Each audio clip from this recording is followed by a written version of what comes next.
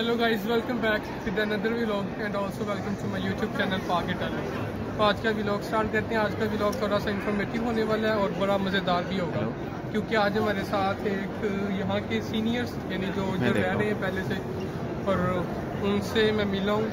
तो उनसे उन, जो है उनका एक्सपीरियंस पूछते हैं कि वो मिलान में रह रहे हैं उनका एक्सपीरियंस क्या है और वो कितने अरसे से यहाँ पे रह रहे हैं। और कुछ चीज़ें पूछेंगे कि उनका मिलान में कैसे क्या चीज़ सबसे अच्छी लगी?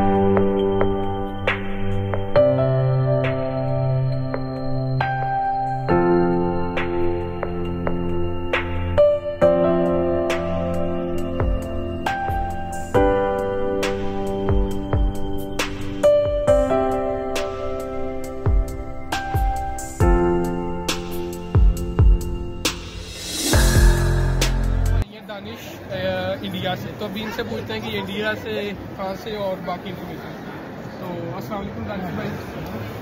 आप इंडिया से किधर से हैं? मैं मुंबई से हूँ। तो ये भाई इंडिया मुंबई से हैं। तो आपको यहाँ पे कितना अच्छा हो गया है? हाँ, जी मुझे टोटल यहाँ पे एक साल छः महीना हो चुका है एक साल छः महीने यहाँ पे यानी आपको डेढ़ साल यहाँ पे हो गया।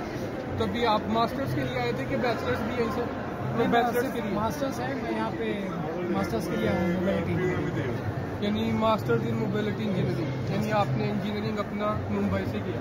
मुंबई में किस यूनिवर्सिटी से? मुंबई यूनिवर्सिटी मुंबई यूनिवर्सिटी से। तो और आपका बी ए स्टडी एक्सपीरियंस कैसा चल रहा है जी फ़िलहाल मैं तो अभी यहाँ ट्रांसपोर्टेशन सेक्टर में हूँ। जैसा कि यूरोप जो है वो लीडिंग कंट्रीज़ हैं ट्रांसपोर्टेशन सेक्टर को लेकर तो मैं बिल्कुल कोर ब्रांच के अंदर यानी अभी आपकी इंटर्नशिप चल रही है एक्सपीरियंस हाँ जी अभी मेरा थर्ड सेमेस्टर चालू है।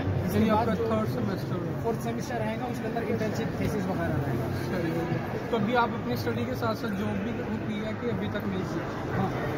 आपको पार्ट टाइम करना होती है यहाँ पर सर्वाइव करने के लिए? नहीं कुछ होते हैं ना यानी ये तो अपनी मर्ज़ी है पार्ट टाइम यानी आप पार्ट टाइम करते रहे। Like that depends on every individual वो करना चाहें तो कर सकते हैं और ना करना चाहें तो यानी वो तो जैसे ट्वेंटी आवर्स तो ट्वेंटी आवर्स जो है अलाउ है गवर्नमेंट की तरफ़ से जो और अब भी आप मिलान अब यानी स्टार्ट आप मिलान में यहीं पर रह रहे हैं। हाँ जी मेरा एडमिशन यहीं पर है और मैं यहीं पर ही हूँ एक साल से छः तो आपको मिलान तो आपने काफ़ी घूमा होगा तो आपको मिलान में कौन सी प्लेस ऐसी है जो बहुत यानी मज़े की लगती है इंजॉय यहाँ जाता बहुत सारी प्लेसेस हैं यहाँ पे मिलान टूरिस्ट प्लेस है। Like the most famous place is like Guam गुआम स्टैंडिंग यानी यानी कि यहाँ यहाँ की हिस्टोरिकल प्लेस भी है. यानी ओल्ड डिकेटर की जैसे ये थर्टीन ज़ीरो एटी सिक्स से बनी यानी हिस्टोरिकल दानिश भाई अब आप अ, जो नए स्टूडेंट आ रहे हैं दूसरी कंट्री से तो आप उनको क्या रिकमेंड करेंगे कि उनके लिए इटालियन कितनी इम्पोर्टेंट है उनके कैरियर में और स्टडी में? सो लाइक बेसिकली हम यहाँ पे जो है इंटरनेशनल लैंग्वेज टेस्ट दे के आते हैं और यहाँ पर जो लोगों यहाँ पर जो पीपल है उनकी जो लैंग्वेज है नेटिव लैंग्वेज वो इटालियन है। सो so, यहाँ का जो वर्किंग इन्वायरमेंट है यहाँ पर जो कॉरपोरेट सेक्टर में जो वर्क करते हैं वो इटालियन लैंग्वेज में करते हैं। यहाँ से पास आउट होकर किसी कमर्शियल सेक्टर में या फिर कोई कंपनी के अंदर अगर आपको जॉब लेनी है तो इसके लिए आपको वहाँ के वर्किंग इन्वायरमेंट के अंदर काम करना पड़ेगा। वो काम करने के लिए आपको Italian that is a mandatory thing in Italian as compare to the any English speaking country Arfa भाई ये भी इंडिया से हैं और इंडिया में बेंगलोर से। तो अब अभी इनका एक्सपीरियंस देखेंगे और इसी में हमें ज्वाइन करेंगे अ, हमारे पाकिस्तान से भाई हैं जिन्होंने मुझे भी बहुत ज़्यादा गाइड किया इटली आने से पहले। और वो मेरे से पहले उन्होंने ट्रैवल किया था। तो अभी हमें जो है ना हमारी टॉक सेशन में तो शहजाद भाई भी हमें ज्वाइन करेंगे। तो अभी शहजाद भाई आप आ जाएँ और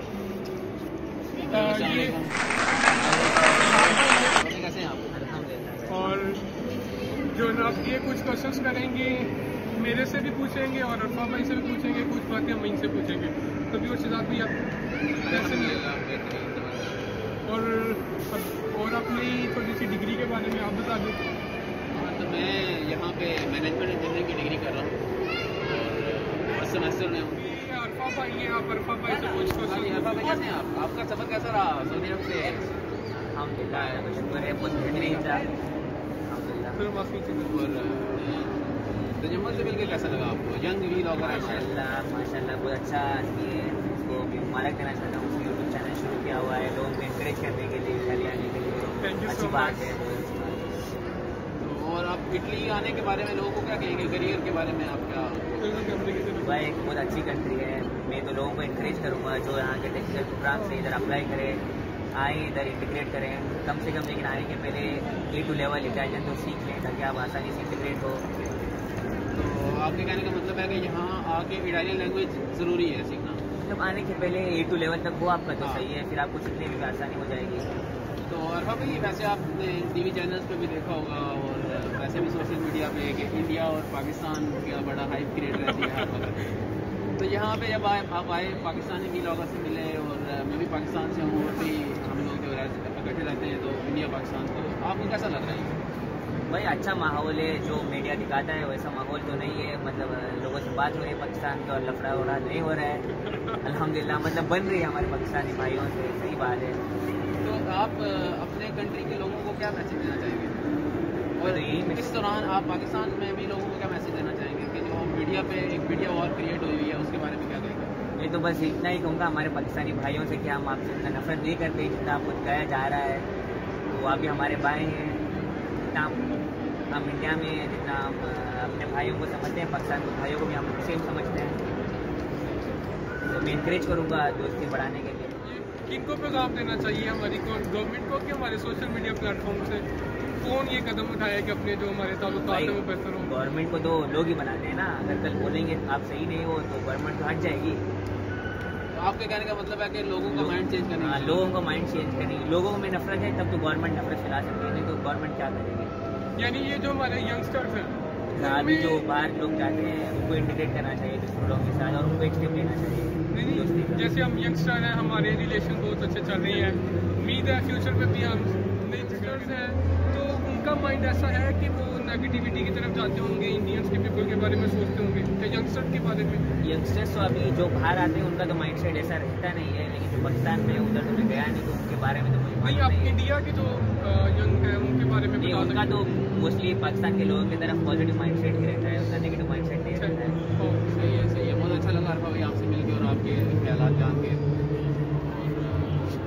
आप कुछ ऐड करना चाहें या कोई कोई भी बात अच्छी बात है लोगों को कन्वे करना चाहें? मैं तो बस लोगों को कहूँगा कि अपना दिल साफ़ करिए और इंडियन भाइयों की तरफ़ दोस्ती का हाथ बढ़ाइए।